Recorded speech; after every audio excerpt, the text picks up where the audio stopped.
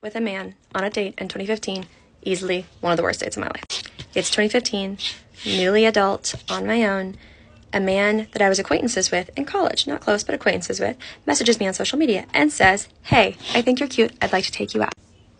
Mistake number one, I say yes. It's not even a mistake. Mistake number one, he was a criminal justice major. I said what I said, and I'm not sorry. Red flag. He suggests he makes me dinner at his apartment. Great.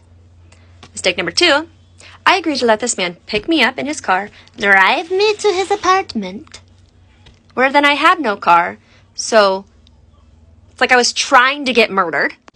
So we get to his apartment. We had great talks in the car, everything was going fine. We get to his apartment, and I don't know what I was expecting, but it wasn't this. He opens the door. I walk around the corner.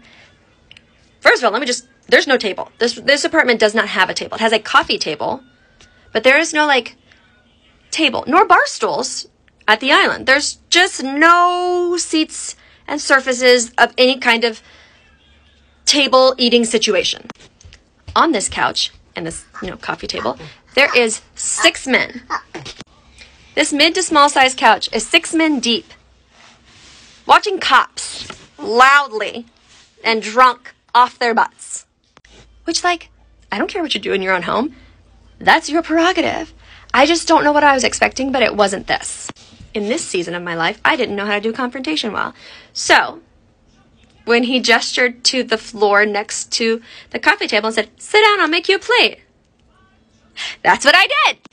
He proceeds to walk to the crock pot on the kitchen island and scoop onto a plate a bell pepper with clearly unseasoned ground turkey in it and just plop that little sucker on the plate as clear or near clear liquid oozes out of it. He then hands me an already opened beer, not one he opened for me, a beer from the counter that was clearly already open. A room temperature pre-opened beer. On it, my bad, fell asleep, toddler, you get it. Anyways, hi Claire, go moving on. Okay, let's just like recap on the floor eating this flavorless food or pretending to eat this flavorless food engaging with the roommates we're talking. They're really drunk but like they're being very nice and like fine. We're watching cops whatever. Uh eventually I mean, well then very quickly right? Like very very quickly in this process he stops talking to me. Like he's no longer making eye contact. He's not talking to me. He actually eventually walks into a bedroom that i'm assuming is his bedroom okay? I feel uncomfortable. This is weird. We're supposed to be on a date. Also this is no longer a date. This is like borderline could very quickly transition into like passive kidnapping territory, okay? Right? Because if you remember, I don't have a car. I am a dumbass who let him drive me to his house and I don't have a car. So at this point, I have a conversation with myself, right? Like, self, yes. I feel weird. This isn't safe. We're gonna go. We're great. Awesome. How? How are we gonna go? Call call a friend, Uber, fine. Great. Awesome. Good plan. Glad we talked. Great plan. Love it. Let's do it. I text a friend who actually lives in this building. I had like a moment of realization. I'm like, oh shit, my friend lives here. I'm gonna text her and have her pick me up and take me back to my house because it'll be faster than an Uber, right? Right about this time, this man comes out of his bedroom and he has clearly taken something. I don't know what. I don't really care. As long, you know, it's your house. Do what you want. But I am like, mm, we're done. You're done. We're done. We're moving on. I go tell him, I'm going to go ahead and leave. Like, I'm going to go. Bye. He proceeds to tell me, No, I'm not leaving. In fact, we're all going out to Dixon, which is like our street where all the bars and like the lit party street is. Like, we're going out. I beg your pardon? No, he's like looking at me going, No, you're not leaving. We're going out. And I'm like, No, you're going out. I'm leaving. Like, I'm actually leaving. He proceeds to go stand in front of his front door and say, No, you're not leaving. We're all going out together and you're coming. Thankfully, I just kind of look at him and I'm like, I'm leaving. I'm leaving. I'm going. Get out of the way. He does. He moves out of the way. And I walk downstairs. My friend is there. She, we go to her car. She drives me home. Everything is fine. Lesson learned. Men are trash. Uh, vet better and drive yourself. I'm just reminiscing on the time that a guy from Bumble asked me if I wanted to go get food with him, and I said yes. And he came and picked me up and took me back to his apartment.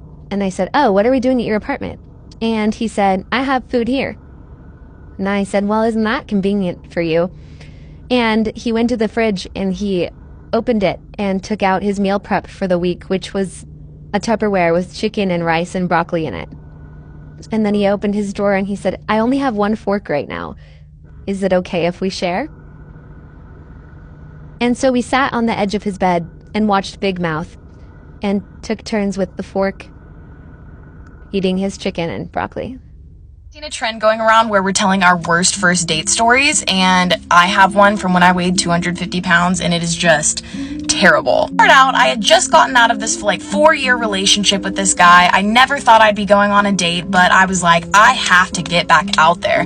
I was so nervous though because i was 250 pounds and we all know how men treat big girls. Nonetheless i wanted to be like everybody else so i got on tinder and i started swiping and lo and behold i found paul that is his real name. Paul, if you see this, pulls up in his little slug bug at my apartment and I get in and he immediately is rude to me. I can tell that he does not like me, my size, any of that. Takes me to Texas Roadhouse and does not talk to me for the 30 minutes that we have to wait for a table. It's extremely awkward. We sit down, he orders his fish or whatever, recommends that I eat a salad. And since I'm mortified, I order one. After we get done eating, he takes me to the grocery store because apparently his dad told him he needed to pick up like a bottle of wine or something for him, but I'm underage, so he has me stand like awkwardly by myself while he buys it. He drives me home and I'm like, thank God this date is over. No! He walks me up to my door and I thought I was gonna be like, okay, you know, thank you for the date you didn't really pay me any mind, but whatever, see ya, never. No, he forces himself into my apartment, which at that point, I pretty much knew what was going down, and I was way too scared to set any boundaries about it. So I started drinking some vodka. I was in my room for all of five minutes before things started happening. I was so uncomfortable. I didn't know what to do, what to say. It all happened within literally, literally, it wasn't even five minutes long. Um, and then he left. And that was it. And the next day, I wanted to apologize to him for seeming weird, and he never never replied back to me. Fast forward to when my TikTok kind of blew up and obviously I had lost weight and stuff and Paul came back around and I just wanted you guys to know they come back around.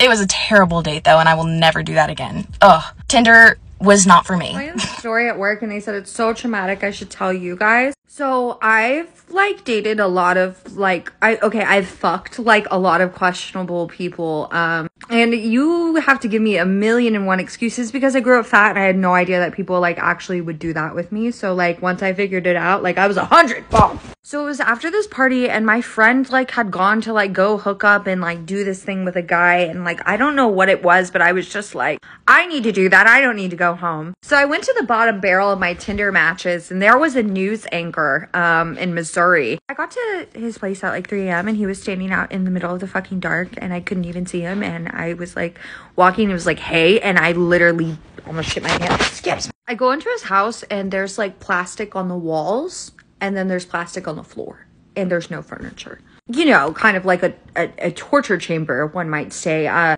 I even made a joke. I was like, oh, are you going to kill me? You know, because there's plastic everywhere, like you're Patrick Bateman. And he was like, ah, but he didn't say no right? So he's like, Don't worry, there's like furniture in my room. We can just go upstairs. And like, I promise. I get there and there's furniture, right? But then the most horrifying moments of my life start to happen. He was like really close to me and like looking at my skin. And then he took my skin and he like pulled it back like this. And he said, because he was older, Your skin is so taut um, when women get older, their skin starts to lose its elasticity, but yours still is very elastic. I must have hated myself because I still slept with this man, right? Um, and this is where the horror keeps going, right? Because he's obviously going to turn me into a lampshade. After we're done, mid, by the way, terrible. He's like, okay, so now since we've slept together, I don't have to impress you anymore. And I was like, what do you mean? And he's like, well, we already slept together. I can do whatever I want.